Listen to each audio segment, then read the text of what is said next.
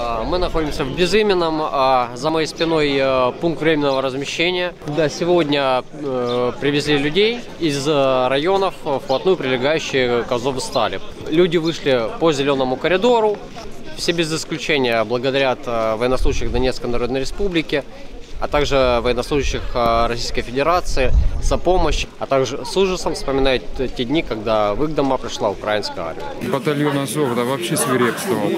Хотел с сестрой пойти набрать воды. Вот. Ну, зашел в дом, чтобы взять веревку. Элементарно маленькую такую веревочку, где-то метров 18, ну 20, ну срезать. Вот. Я не полез там ни в холодильнике, ни в шкафы там. вот. Просто забрать веревку. Мне начали угрожать расстрел. Вот, вот сестра шла с мужем, вот, перестре...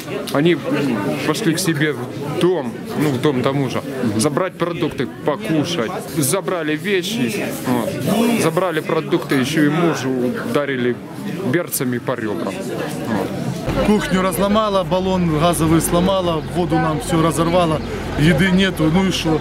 Умирать с голоду. И, короче, решили пойти. И вот то пули летают, снаряды рвутся, а мы с флагами аккуратно и дошли. То есть вы услышали информацию по радио? По радио, и, да, слава богу, что хоть, хоть что-то. Первое радио появилось. Мы слушали вас долго, музыка там была еще, хоть как-то расслаблялись, с детьми танцевали. Погреб 2 на 2 и 55 дней сидеть, это кошмар. Ми сиділи як у тому що дома рушились, горели. Мы уже э, несколько поменяли подвалов. Наш дом в первые дни разбомбило, сгорело. Мы вообще не знали, видите, куда бежать и что делать. И во втором подвале опять то же самое. Еле выбрались пожар. Один дед вообще лежачий, одна без ноги. И остальные все просто неспроможны. Из мужиков у нас вот один 17 17 или лет. 18 или. И все. Дети нас вот так вот спасали, нам воду носили. Российские военные.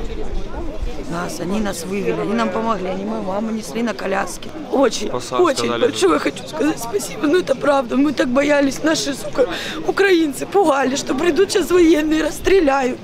И все, мы сидели, я говорила, не может быть, чтобы наши же славяне нас же расстреляли.